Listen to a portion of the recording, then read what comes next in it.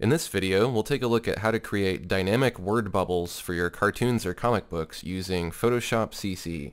So I have a composition I've created here. It has a lot of different layers. If you look over here in the layers panel, you can see I have this page, which is basically the whole cartoon. if I toggle that open, there are some subgroups. There's a group for the bubbles, which I'll show you in a minute. There's a group for the panels, which are the borders that cover everything here. And there's the art, which is merged down. Now, when I created this artwork, it was originally in a lot of layers, and it looked something like this. I started out with a very rough sketch to conceptualize my artwork. I then drew some lines for panels. I turned down the opacity of my rough sketch, and I went over it on new layers for my ink. And then I added layers for color, and all of those color layers are separated. Sometimes I separate them by color, sometimes I separate them by object. That way if I wanted to change the whole color of the jacket, I could do it very quickly. And then I have some backgrounds that I added in. Those are separated onto their own layers. So I worked from foreground to background. I can hide the rough sketch, and we have our basic cartoon here. Now if we jump back over here, we'll add some word bubbles. So I've created a group for word bubbles. Look at our first word bubble. This is the basic word bubble. And you can see it is a live vector shape with live effects applied to it. So for instance, if I want to control the stroke and make it thicker, I can make it thicker. If I want to change the text, I can go in and change the text like so. So this is what I mean by these being dynamic, is that you can change these without them losing resolution. Now this is a shape, so if I want to edit this shape and make it bigger or smaller, I can do that. Because it's a vector, it can scale up.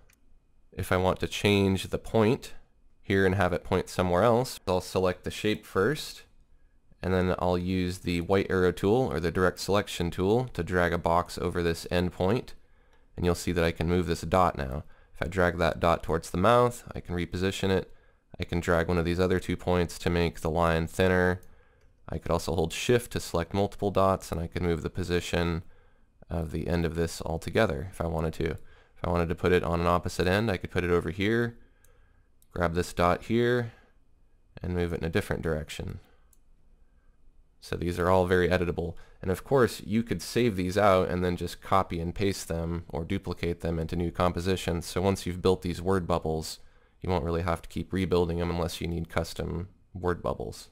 But I'll show you how to make a few different kinds. For instance, here's another style of word bubble where it has a curved point.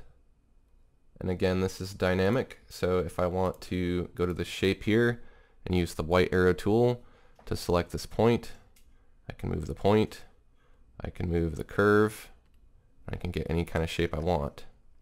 So let's take a look at how to go ahead and make one of these bubbles. What I'm going to do is I'm going to go ahead and just collapse some of these groups. I'm going to go to the top of the group here so that I'm creating things in a very specific place. And then I want to go to the shape tool here. Now if you tap and you hold there's a rectangle, there's a rounded rectangle which is what I'm using mostly here. There's an ellipse tool which you can use for ovals and there's other shapes but you'll probably be using the rounded rectangle the most, probably the ellipse as well. I'm going to get the rounded rectangle because I prefer that.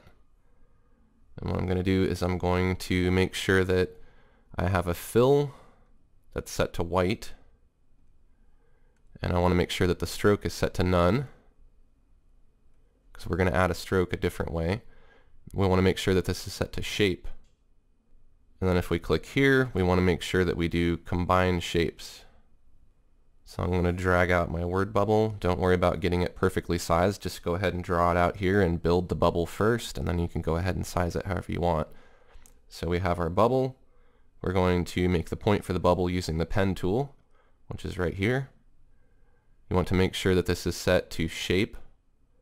Fill is white. Stroke is no stroke.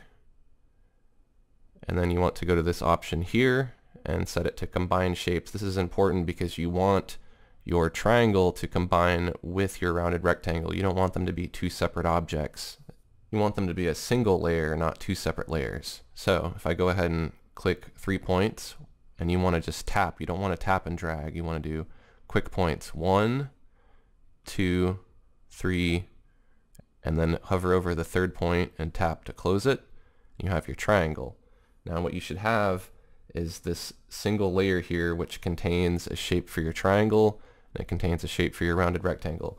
If you have two layers, that means you didn't do it right and you have to go back. You have to make sure that you're combining shapes, not creating a new layer. The reason why is because when we go to stroke this later, we're going to want the whole thing to stroke together and we want to keep this editable. So what we're going to do is we're going to use the path selection tool. The path selection tool lets you tap on shapes and move them around. So even though these are independent shapes, they're still on the same layer and this is how I can move them independently. So if I want to move this up here, move this over here, I can. If I want to move the individual nodes that are on that path, I'll use the direct selection tool. So for instance, if I want to move the endpoint, I have to use the white arrow. So now that we have our bubble, we can do some different things to it. We can of course move it around if we use the move tool. And if we use free transform, control T, you can rotate it if you like, you can flip it, you can scale it larger or smaller, and it's always going to be nice and sharp because it's still a vector shape.